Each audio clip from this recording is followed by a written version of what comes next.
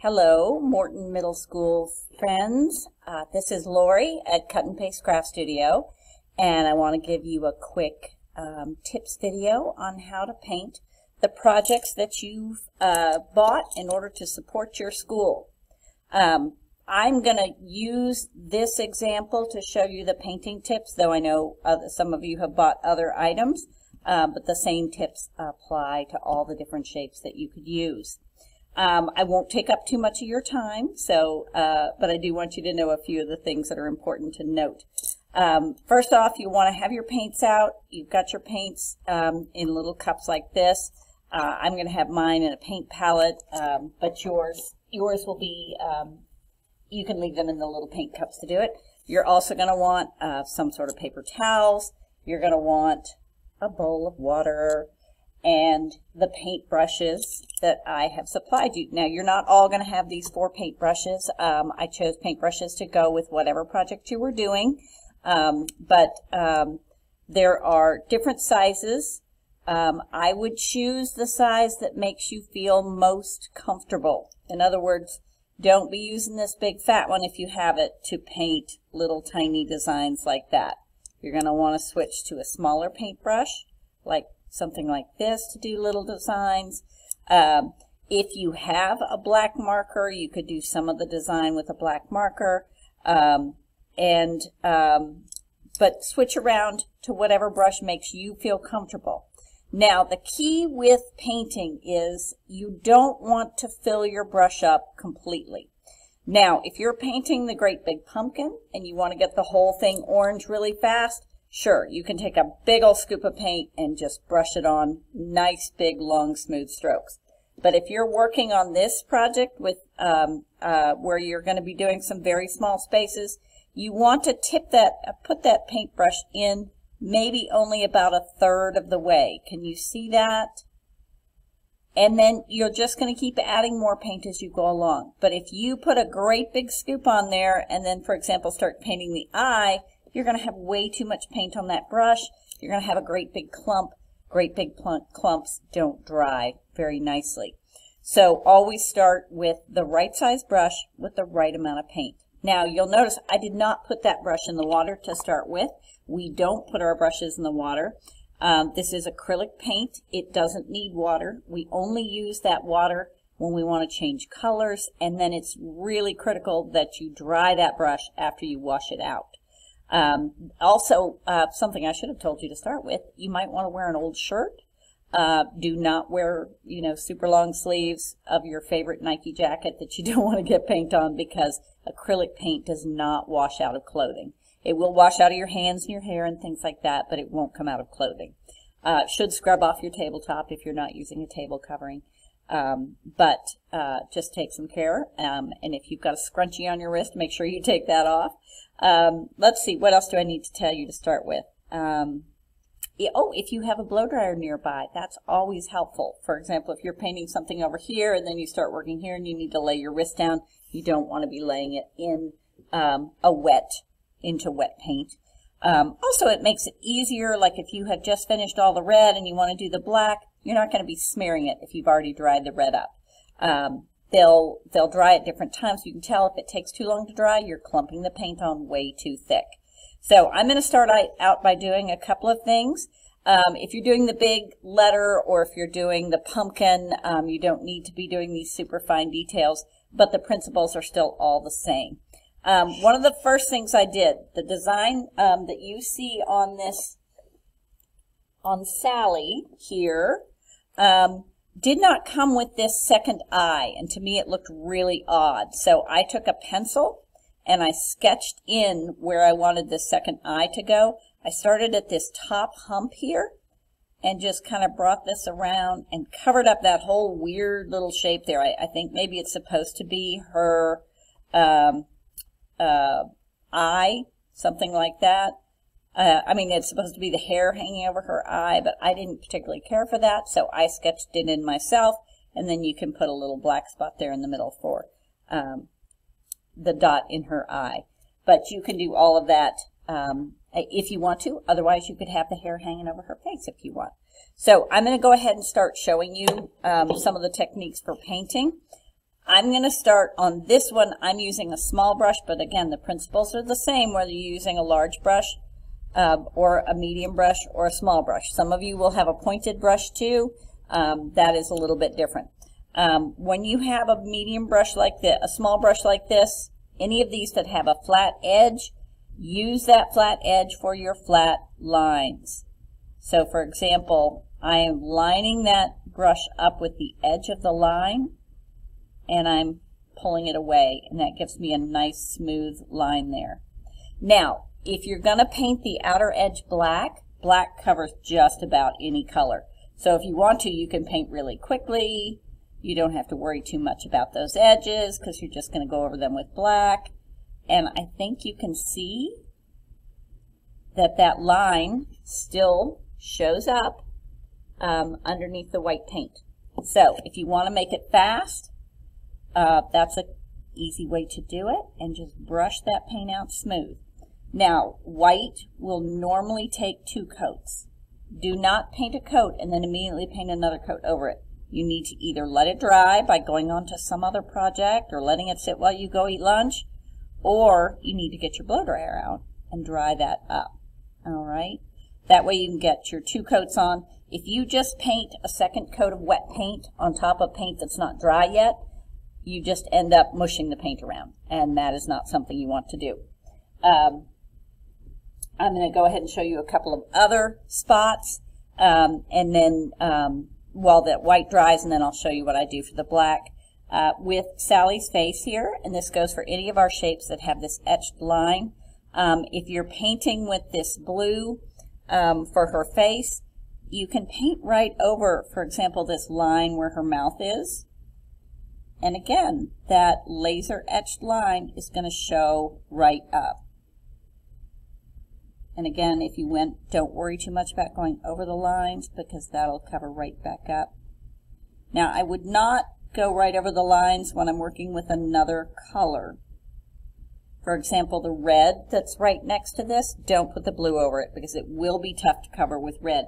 Red seems like a darker color, but red is one of those sneaky colors that you think, oh, it's so dark, it'll cover up beautifully, and it really doesn't. Red is a bit sheer when it goes on.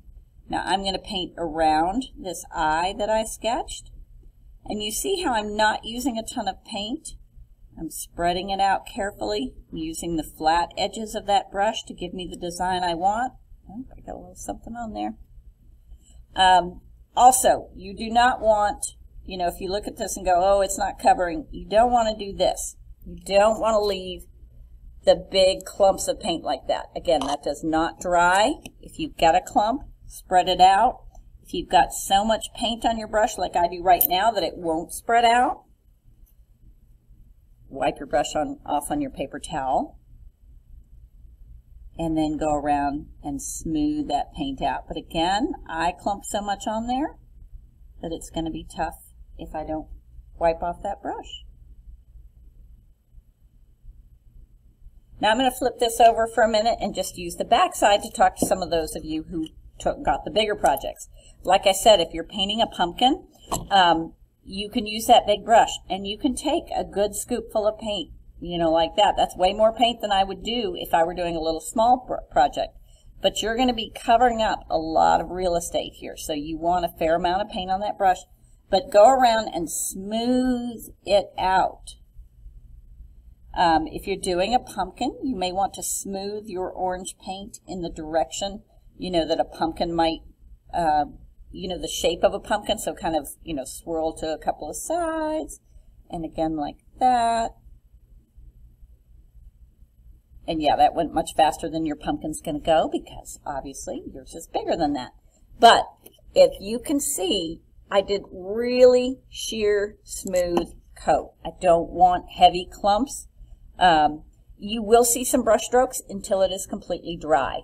So again, if you decide, I need a second coat on that, on now on this one, it's looking pretty good, so I'm not going to do it. But if you needed a second coat, do not start that right away.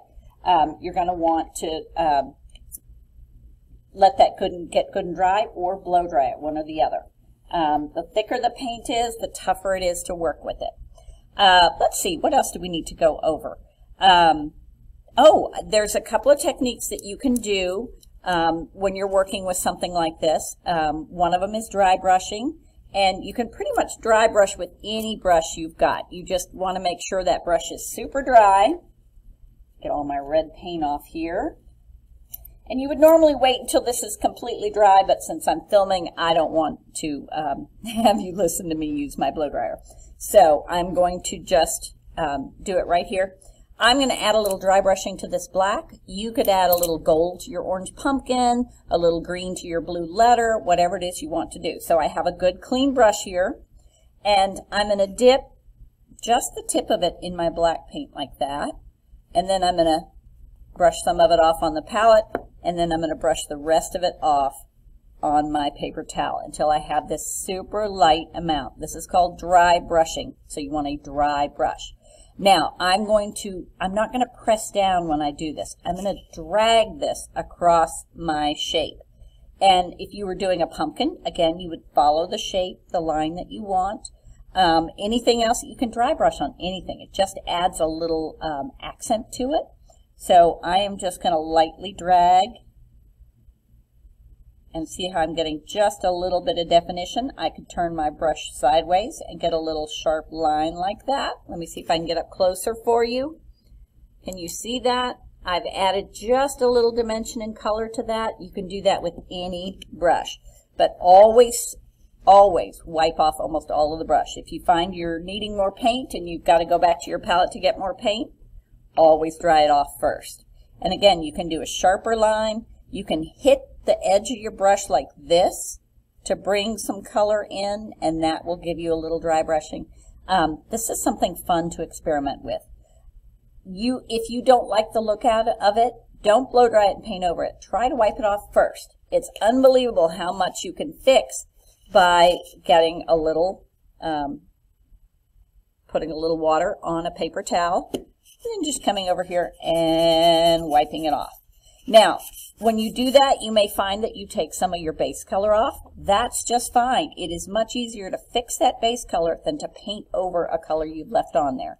Um, if you have some Q-tips, Q-tips are fabulous for if you need to get a little detail work, uh, you know, fix a little something like that. Now, again, um, with the uh, cautioning you on um, putting too much paint on, it's going to be very tempting.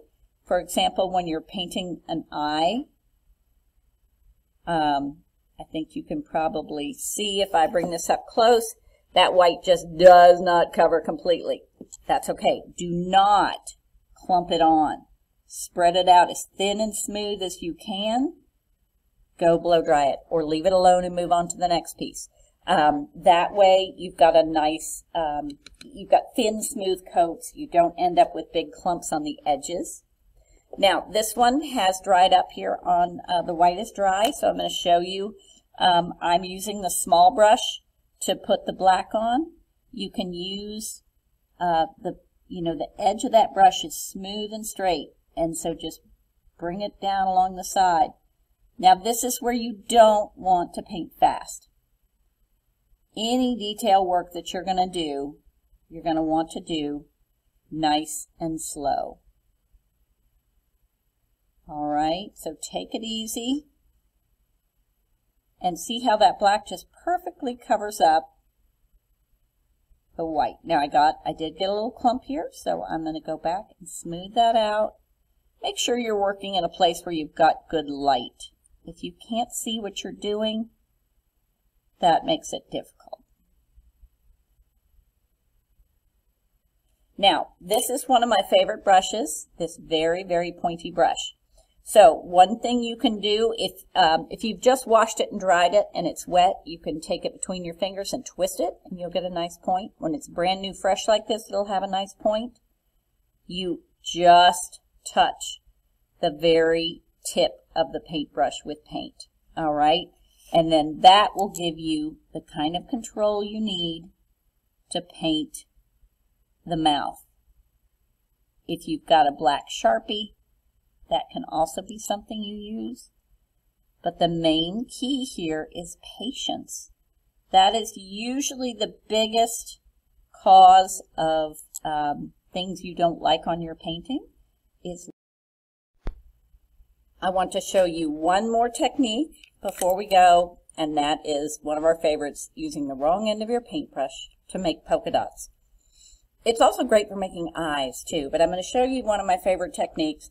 If you want to make a dot, you just dip your paintbrush straight into the paint and make a dot. If you want uh, a lot of dots, all the same size, you're going to keep dipping in between each dot. If you would like your dots to get smaller as you go, dip once and then continue to make dots as they get smaller and smaller. This is also a great way uh, to fill in a small shape like this. Dip your paintbrush in the black, dip it in here, and then you can just kind of drag it up to fill in that nose. Um, you could also do it down here um, for Sally's eye. But I would do that after you paint it white. Don't do what I did and just put the dot on there right now. Uh, but you could do it on either side, and it gives a perfect little dot. That is all the techniques I have for you right now. Remember when you're done to wash up your brushes, empty out your water, throw away your paper towels, uh, clean everything up and you're going to make mom happy and maybe she'll let you do it again next time. Thanks so much for joining us and I hope we see you soon at Cut and Paste.